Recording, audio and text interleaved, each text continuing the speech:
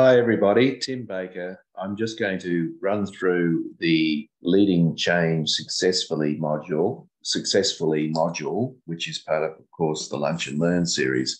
So I want to give you a little bit of an overview as to how we can actually effectively manage change. You know, it's obviously not that easy. We we all know that change is accelerating.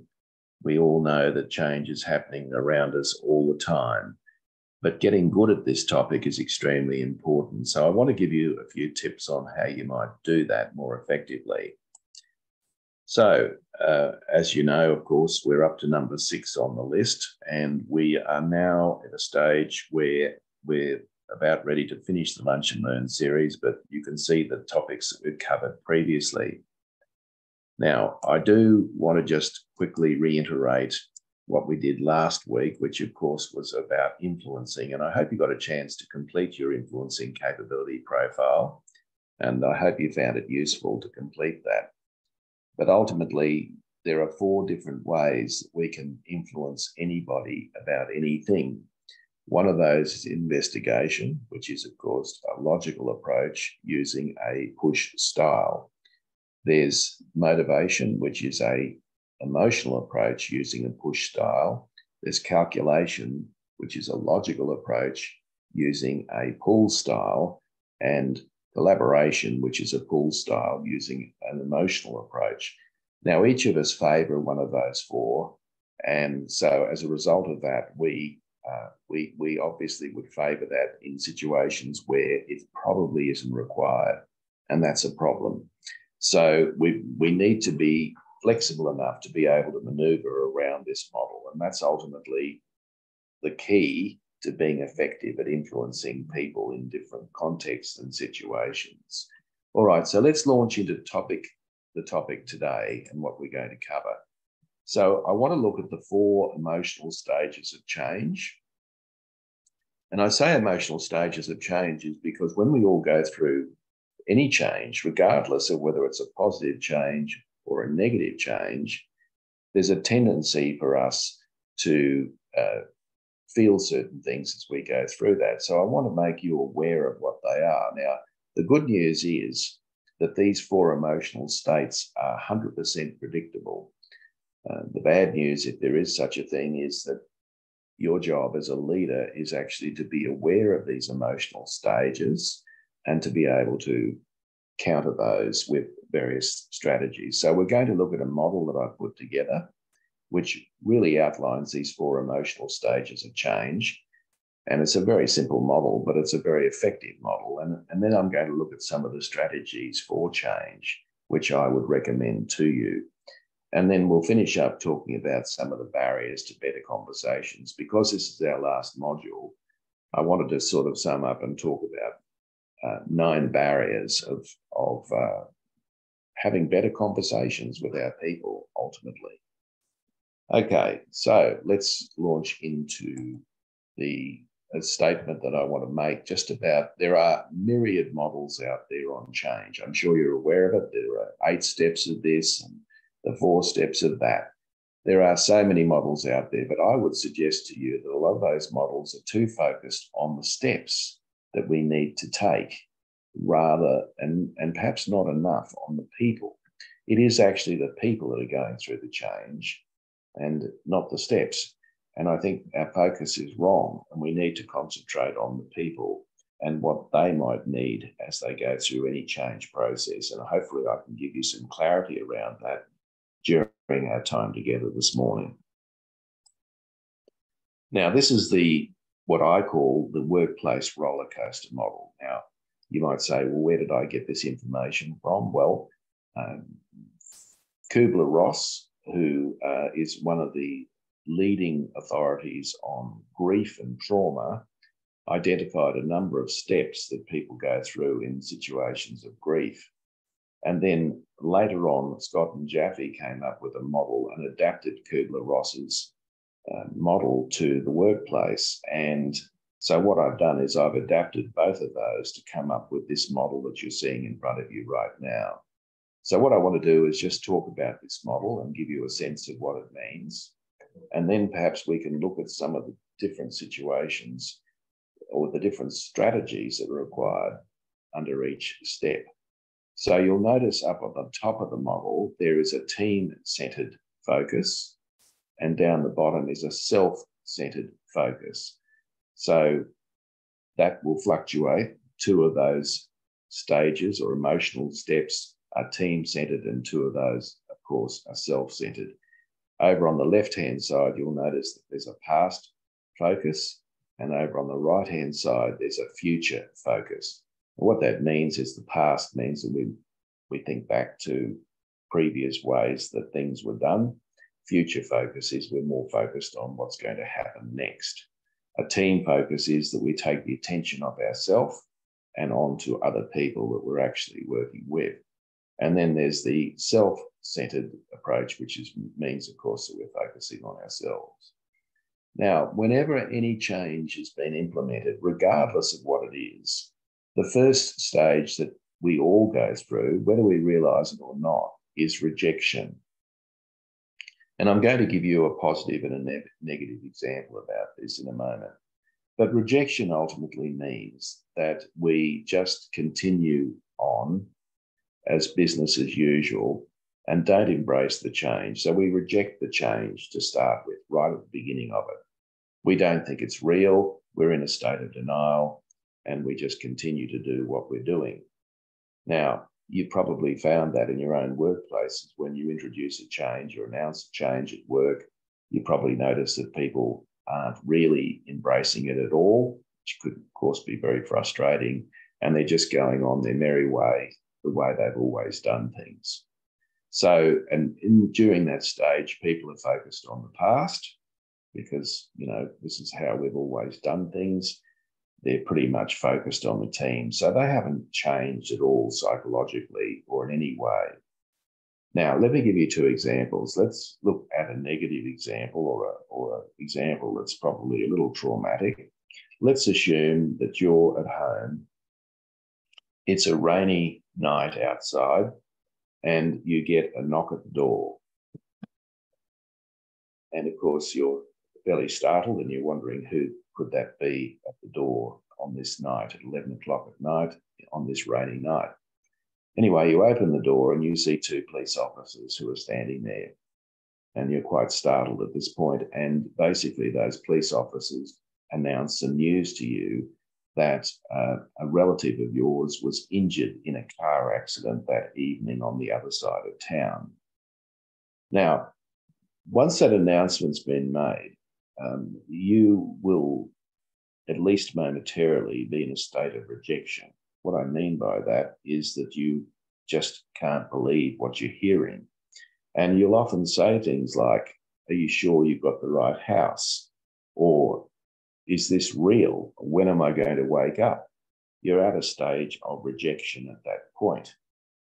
Now, going a little further and not after the police officer explains some of the detail involved, you're going to move into a state of resistance.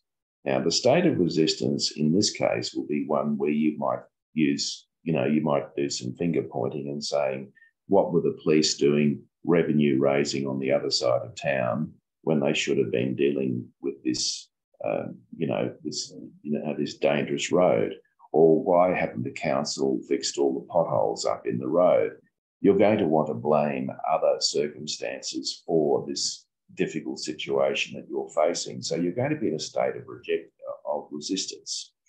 Now, of course, after a short period of time, the police officers will leave the scene, and you'll think to yourself, well, all we can do now is get to the hospital.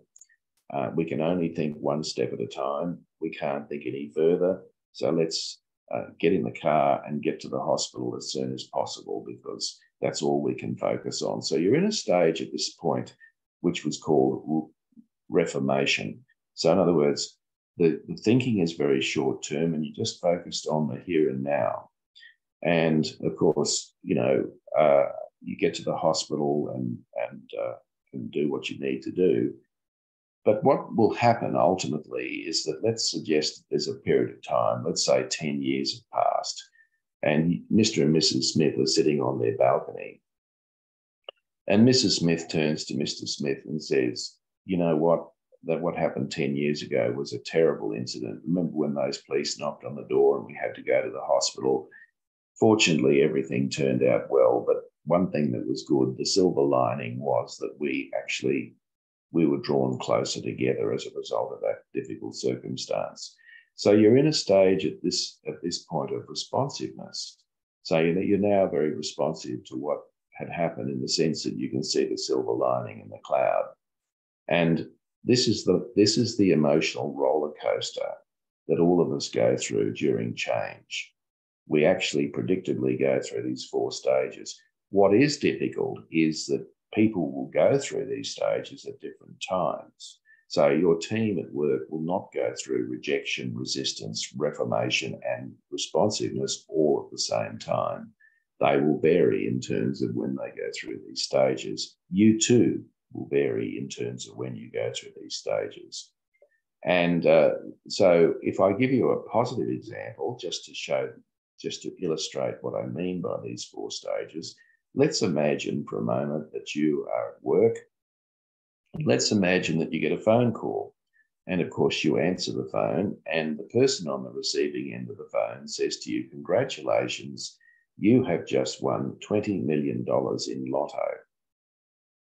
Now, your first reaction is going to be what? It will actually be rejection. In other words, you won't face the reality of the situation. You'll probably say to the person calling you, Is this a hoax call? Or is this real? Or who are you? Or, um, you know, so you're actually going to be in a state of rejection at that point. And that would be quite normal under those circumstances very shortly it'll start to seep in that this change is real, that you did in fact win this money, and you will momentarily be in what psychologists call cognitive dissonance. You'll be in a state of resistance, just mild resistance, obviously, in this case, because it's a pretty good thing that you've done, uh, that, you know, it's a pretty good circumstance to be in. But you'll be in a stage of resistance, and that will be where you will say, um, should I tell people or should I not? What should I do about this? And how will I deal with it? Because obviously it's a big deal. It's a life uh, changing circumstance for you. So you'll be in a state of resistance for a very short period of time. Very soon, of course, you'll be in reformation, and that reformation is what is is really how are we going to spend the money? You know, what are the priorities? What are we going to do? So you'll be in a reformation stage fairly quickly and you'll probably make lists and all sorts of things and be quite excited about it. Moving on to responsiveness, where of course you might crack open the champagne and be celebrating the fact that you've won this money. So you can see that you can go through these four stages, whether it's a positive or a negative situation. And we all go through this. I'm sure you've all heard the saying, life is a roller coaster ride. And I think there's a lot of truth to that, meaning, of course, that this curve that I'm explaining to you, this roller coaster, is actually something that we continually go through. So after we go through one change, we go down the roller coaster ride again and up the roller coaster ride. So life is a continual process of roller coaster rides. And I think we could all relate to that. And we can all think of examples where we've looked back on something that's happened in the past and thought to ourselves that wasn't great but then we look back on it and we think well it, you know it was quite fortuitous that it occurred because it brought these great things into life which is great. So you get to a stage where uh, these four emotional stages happen at work as they do at home and we just continually go through this roller coaster ride. Uh, let me give you an example where a manager may not actually use these four stages and will sort of scratching their head wondering what to do. Let's imagine that a manager pulls his or her team aside and the manager is going to brief the team and explain to the team members that as of Monday, there's going to be a new sort of customer relationship system that's going to be implemented in the business. And at the end of the presentation, he explains very clearly why it's being implemented, what the pitfalls are going to be. So he does a pretty good job of explaining all of that. And at the end of the presentation, he says to his team members, Does anyone have any questions? And of course, there's dead silence. And the interpretation that the leader might make is that everybody's on board because there's no negative questions or no questions, and everyone must think it's a great idea. And then as he walks out of the meeting room, he notices that two people who were in the meeting are actually at the water cooler and speaking very negatively about the change. And the manager pulls them up and said, Why didn't you say something earlier on in the meeting? Why are you talking about this at the water cooler? So the problem here is that the manager has misunderstood the situation because during the meeting, people were in the state, state of rejection.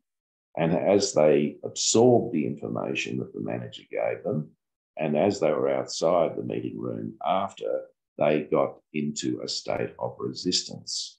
And the manager assumed that, of course, they just didn't speak up at the meeting, that all that's happened is they've just actually moved into resistance. Now, a far better way of managing that would be for you, for example, to explain the circumstances and make sure you give people plenty of time. So you, you're going to state to the, you get the team together and you'll, you'll, you might say to them, in three weeks' time, we're implementing a new customer relationship management system. And I just wanted to do brief and inform you about that. And I, what I'd like you to do at the end of this meeting, once I've explained why we're doing this, is uh, we're going to meet again in a week's time because you may undoubtedly have questions that you'd like to ask me about that.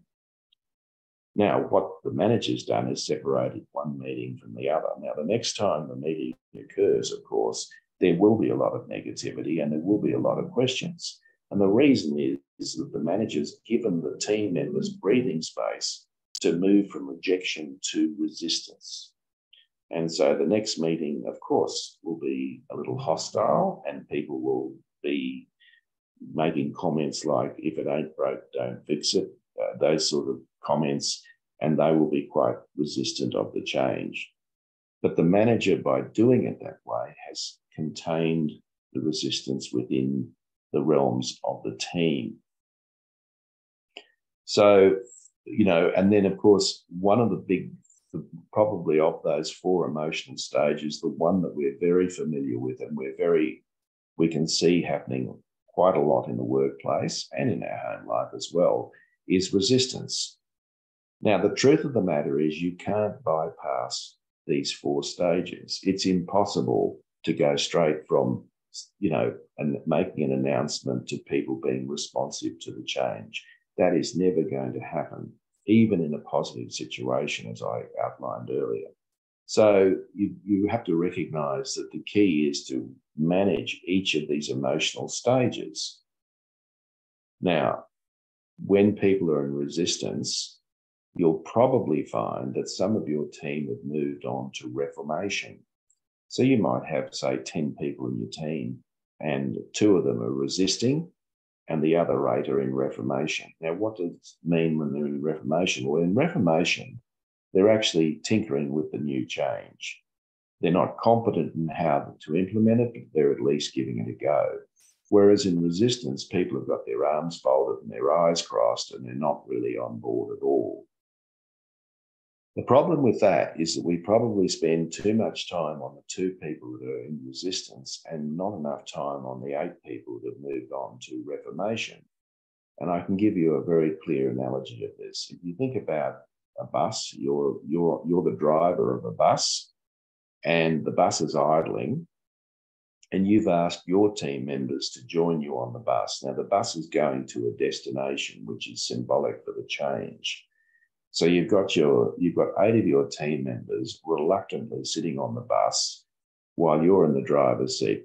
But you look out the window and you notice two of your team members are sitting in the bus shelter. In other words, they're not going to come on board. These are what you might call professional resistors. You give them free beer and they'll complain that it's not cold, that kind of person that I'm talking about. So, anyway, what you do is you get on, you get it, you you stop, you turn the engine off, you get off the bus, you go and sit in the bus shelter, and you spend a bit of time or a lot of time trying to convert these professional resistors to get on board the bus, which is the metaphor for change. But you notice that you're not very successful in doing that. Because I can tell you that there are two things that professional resistors want most of all in life they want attention and they want power and you're giving them both by sitting in the bus shelter with them. Now, I'm not suggesting you should ignore them, but by by spending you know a considerable amount of time trying to convert them, the eight people that are on the bus are probably going to be a little annoyed about that and think, well, we're the ones taking the risk. We don't know where you're going. We don't know what the destination is. But we're, we're reluctantly sitting here, and you're spending all your time with these two people who clearly are going to reject or resist anything. So you see, the problem here is that you can't ignore the two people in the bus shelter, but by the same token, you mustn't give them a disproportionate amount of attention. So, what do you actually do? Well, come back to the situation where you're in the bus, uh, you, you're in the driver's seat, you've got eight of your team members sitting in the bus and you notice that two people are not in the bus. So what do you do?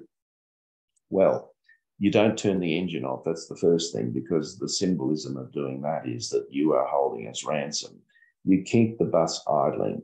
You get off the bus. You walk over to the bus shelter. You sit down in, or the uh, you sit down in the shelter, and you say to the two people, very courteously, you say, Look, I realise you're not on the bus. I realise you've got some concerns about where we're going.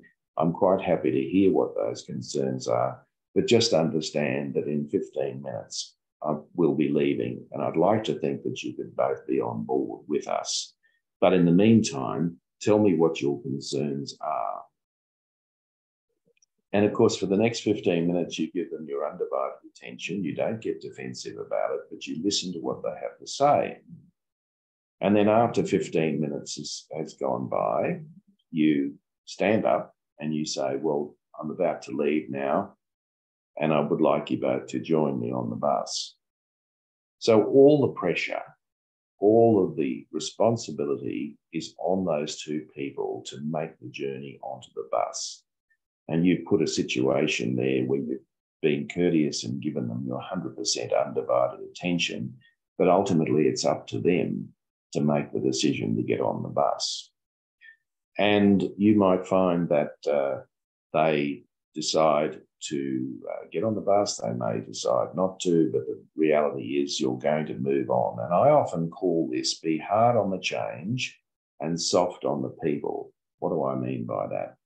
Well, being hard on the change means the change is is you know it's it's inevitable. We're going ahead.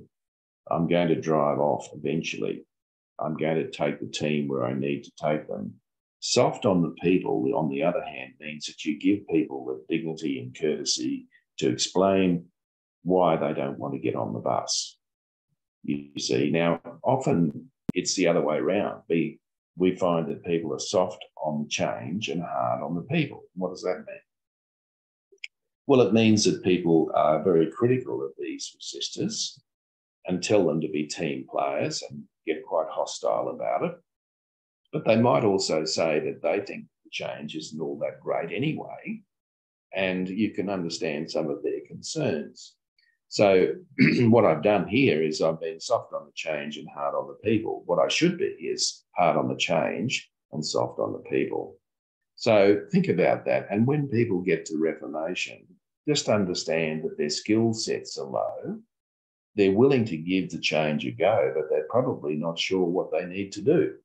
So your job during Reformation is to give people coaching and mentoring to help them to be able to master the change. So let's look at some of the differences um, and some of the things that you need to do in these four stages. So during the rejection stage, now remember, during rejection, of course, people have got their head in the sand. They're concentrating on doing things the old way when you want people to do things another way.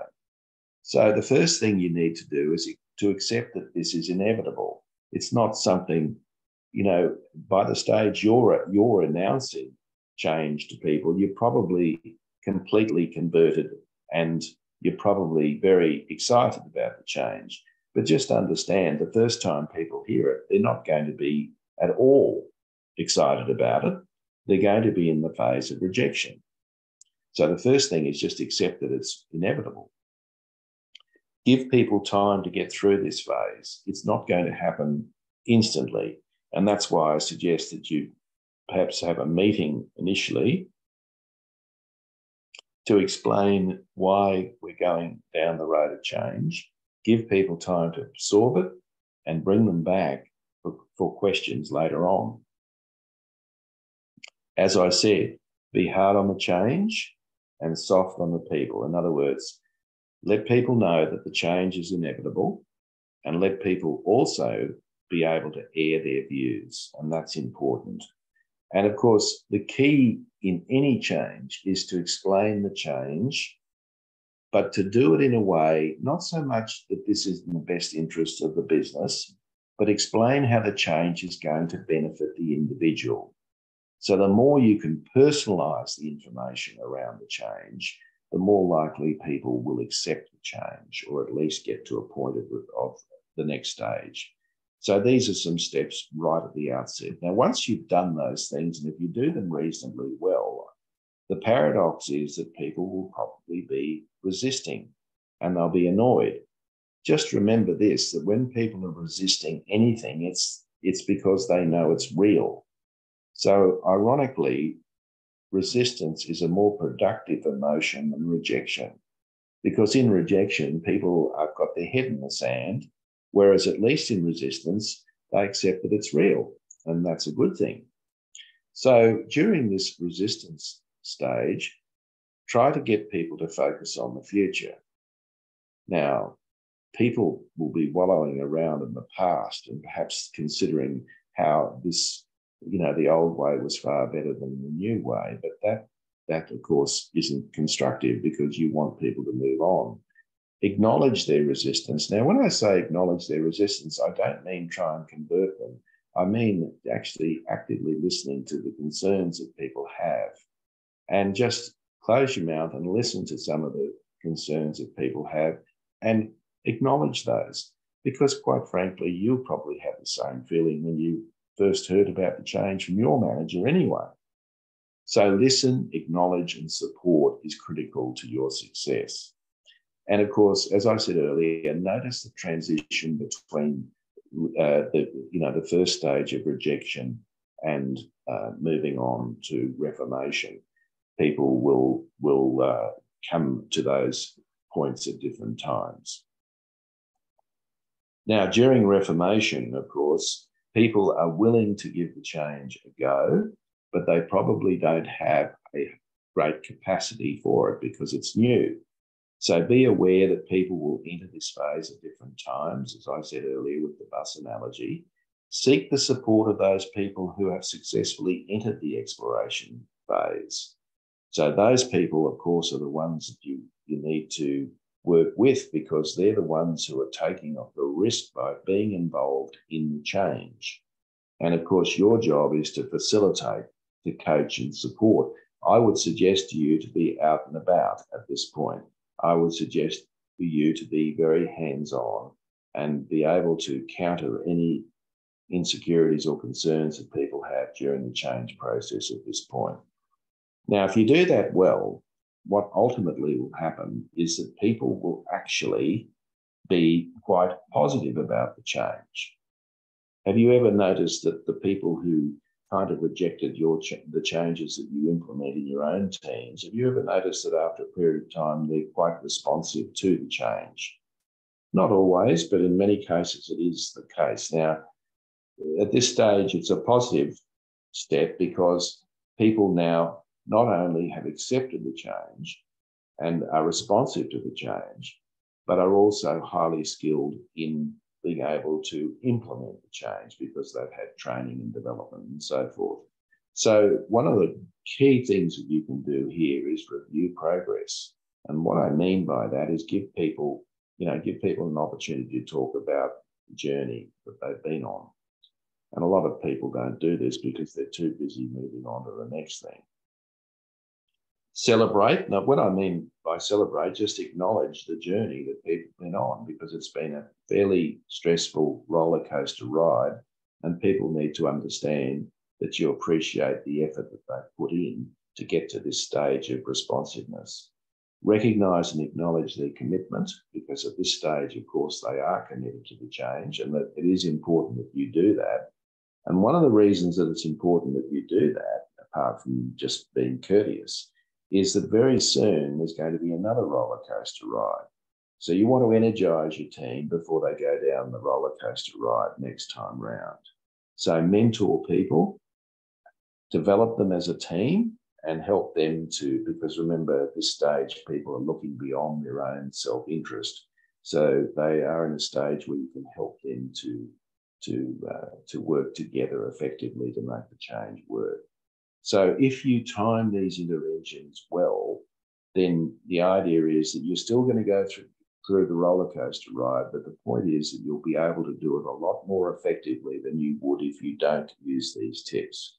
So the first thing is to recognize where are people up to in terms of their own emotional state during the change process and to respond to that in the right way. And if you do that, you're likely to be far more effective as a change manager. The important thing also for you as a leader is to acknowledge yourself in this process. So it's important in the early stages to, to notice your denial. You know, when you're first, when your manager announces to you a change, you're probably going to be in the same state that your people are going to be in when you announce it to them. So seek out information and face reality. And then you're probably going to be resistant as well. And that's okay, but acknowledge your feelings and take small steps. It's quite reasonable to be defensive about a change because again, it goes back to our primitive uh, survival instinct that we like things to be the way, you know, to be very uh, stable and predictable. And when you get to reformation, understand and learn from exploration. So create a vision, seek out learning opportunities to improve yourself and improve your ability to get through the change. And then when you get to the stage of, uh, when you get to the final stage of, and you're committed, reward yourself. Why? Because you need to re energize yourself because you're going to go down the roller coaster ride at some point and stay vigilant because before long there will be uh, there will be a um, there will be another roller coaster ride to go through.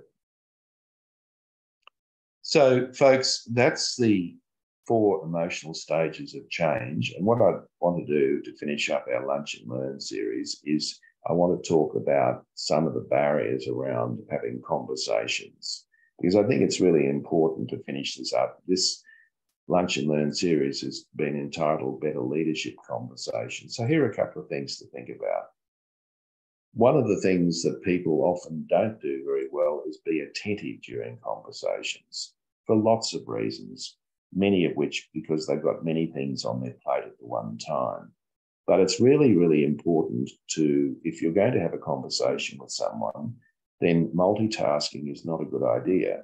So close the laptop, turn away from the computer, put your phone out of the way, give the person 100% undivided attention. And uh, you'll find that the conversation will go a lot better. You'll find that uh, people aren't in, you know, getting distracted by a whole range of other things. So if you're working in an environment where there are a lot of distractions, then it might be a good idea to leave that environment and find somewhere where you're not going to be distracted. The second thing that's important in conversations at work is to is is not to restrict information channels. You often hear people say, you'll get told on a need to know basis. Or another saying you often hear is no news is good news. So, in other words, people who are in leadership roles often don't give people all the information that they require. So, it's very important to open up the channels of communication and give people the information they need. after all, isn't it true that you want them to listen to you? And isn't it true that you also want them to be able to see your perspective? And the only way you can do that is by giving them all the information that they need. So don't, uh, I mean, I accept that there are some things, of course, where you can't give people information because it's confidential, absolutely, and no one's suggesting otherwise. But I think in a lot of cases, we fail to give people the full scope of information when we're explaining a situation or a change or, or whatever it is. So give people all the information that they need. Three, it's important that you give people feedback on how they're managing whatever it is that they're managing. So I think this is one of the biggest problems in the world of work is that we don't give people enough feedback. And what that means is that we do know from some research from Gallup that there's a correlation between a lack of feedback and disengagement. So if you want people engaged, you need to give them regular feedback, whether it's positive feedback or negative feedback, or what I might call constructive feedback and positive feedback they still need that feedback. And that's very, very important. Four, I think you need to ask people questions. So, a good conversationalist is somebody who's very good at asking open ended questions why, what, when, who, where, how, and, and uh, got one there, and why, I think. Anyway, the point is if you ask questions with those words in it, it's likely that you're going to get more than a no or a yes. So, in other words, in good conversationalists ask people, and I often use the term be respectfully curious. And the way to be respectful, uh, respectfully curious is to ask open ended questions. Five, not too much formality. I often find the best meetings are the meetings that are, that are held away from the workplace. So go for a walk, go and have a cup of coffee somewhere. I think you'll find that you'll get much more out of that than having that in your office. So if you have a meeting in your office, if you have an office, the truth of the matter is you're going to feel comfortable in that office, but the person on the receiving end is not going to feel that comfortable because it's not their territory. So you're better off going off somewhere else to have that cup of coffee and that conversation. Of course, I had to talk about emails, and we do know that the average person spends over two and a half hours a day managing email. Now, I'm not suggesting that we abandon email. I think it's an important communication tool. But what I will say is that I think a lot of us have conversations via email, which is not a good way to go. Email is an asynchronous technology, meaning, of course, that when you send someone an email, you don't receive a response instantaneously. Sometimes you don't receive a response at all, as we know. So I think often if you're thinking about having a conversation via email, the best thing that you can do is actually get on the phone, get on Zoom, or uh, just uh, you know go and talk to them face to face is often a better way of dealing with that than to actually do that over email. We're all we all get frustrated with that. We all know the pitfalls of having a conversation via email. Seven, it's really important that the people in your organization who are leading the organization, whether that's you or others, it's really important that you model the correct behavior. Now, if your leadership team, for example, are having meetings behind closed doors, there seems to be a lot of thumping at the table and a lot of aggression and so forth, then that will mirror itself throughout the organization. So, a place to start is with the leadership team and to make sure that they're engaged in positive conversations. Eight, a fear of emotion. Often we don't raise issues with people that we should because we fear what it might bring out. We often say, let sleeping dogs lie, or don't open a can of worms. But the truth is, just because you don't discuss something doesn't mean it goes away. It doesn't. You know, all that's happening is it's swept under the carpet, but it'll, of course, rear its head at some point. So I think be courageous and have that conversation with people. you'll feel a lot better about yourself and you might find it'll go better than you think it will go. Often the fear is because we've interpreted how we think it might go, and we find out, of course, it's gone a lot better than perhaps we thought. So don't be, don't, uh, don't um, uh, not say things because you're worried about how the other person might react. Just put it on the table in a respectful way, of course, and to do it in a way where you can move forward and be constructive. Your people will appreciate you doing that. And number nine, and there's some things you can't do. You may not be able to do much about this depending on how your office is set up. But many years ago, workplace architects developed offices, as you'd be aware, around open plan. So no longer were there the closed door offices as much as there is now, and we've got open spaces where people can collaborate. The problem is, of course, is that these open office environments, when you actually speak up and you say something to someone else, you you can be assured that 10 or 15 other people in the open office environment will overhear that conversation. So, of course, it's counterproductive because we tend not to open up and speak because we're concerned that other people might hear the conversation. By the time you try and book a room, it's often too late. And so I think the open office environment layout has actually been an impediment to open conversations and communication. And I think it's a problem generally. So I think that um, fortunately, new office layouts, as from my experience now, are far more conducive to having conversations. There are breakout areas, there are still private rooms, there are still open office environments. There's just a mixture of different type of spaces that allow people to have these regular conversations, which is great. So, folks, that brings us to an end, and I'd like to uh, ask you to frame your change conversations around the model. So, if you frame it around the four different emotional states that I've given you, you're far more likely to be able to get good reaction for change. And I think too many of these change models have been very much, um, you know, linear or all about what has to change actually what we're trying to change is people. We're not trying to change things, we're trying to change people. So keep the model um, top of mind next time you're working with that with people. So there's rejection, there's resistance, there's reformation, and there's uh, recognition. So use the model to help you frame and plan change. So, folks, that's the end. I've enjoyed working with you in the Lunch and Learn series, and be aware that I've got another one starting on Friday on Teams. And uh, I've also got a number of books out on each of the topics that we've covered during the course of this Lunch and Learn series. So thank you, everyone. All the very best.